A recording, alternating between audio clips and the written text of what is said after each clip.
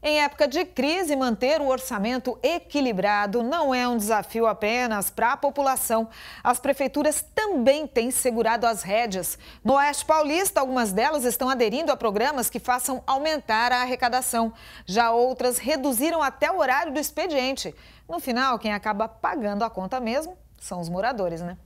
Equilibrar o orçamento para não terminar o ano no vermelho é desafio para prefeituras como a de Presidente Venceslau com dividendos que chegam a 30 milhões de reais, a maior parte com precatórios, medidas como o corte de despesas foram adotadas. O executivo decretou expediente reduzido em várias secretarias.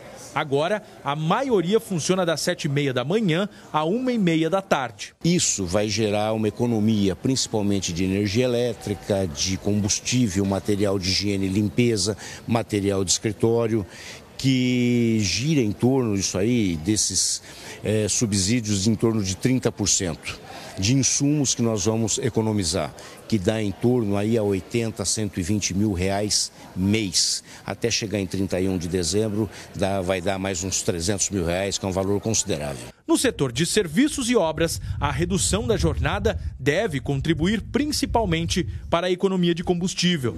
Já áreas de saúde e educação, segundo a Prefeitura, foram mantidas para que não haja prejuízos para a população.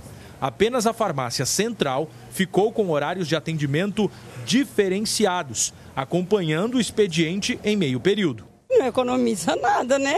É. devia baixar o salário deles também. Correto seria, né? Não trabalha, não ganha. Em contrapartida, o executivo em Venceslau realiza o Refis, que é o refinanciamento de dívidas, na intenção de aumentar a arrecadação.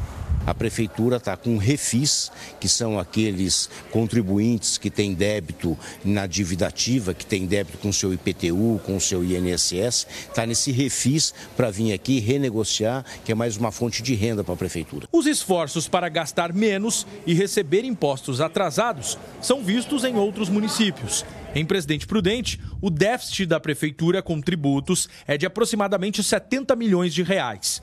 Alternativa à crise, a Secretaria de Finanças lançou um programa para estimular o pagamento do IPTU atrasado, sem multas e juros, mas adotando o critério de quitação imediata. A pessoa que pagar à vista, ela tem é, o benefício de ser é, retirado da sua dívida as multas, a multa e os juros. A correção é só pela, pelo, pela UFM, que já está embutida na, na no, no, no, O imposto é, é para o UFM, está transformado em real a cada ano, mas ele é em UFM. Só isso. Em vigor até o dia 6 de dezembro, o objetivo é conseguir uma boa parcela dos mais de 42 mil contribuintes só este ano que estão em débito com o executivo. Nós levantamos aqui é, é, é, IPTU em atraso que podem ser beneficiados por essa lei somam hoje 161 milhões. Desses 161 milhões, 71 milhões são juros e multas. O valor original, atualizado apenas pela UFM, são 90 milhões.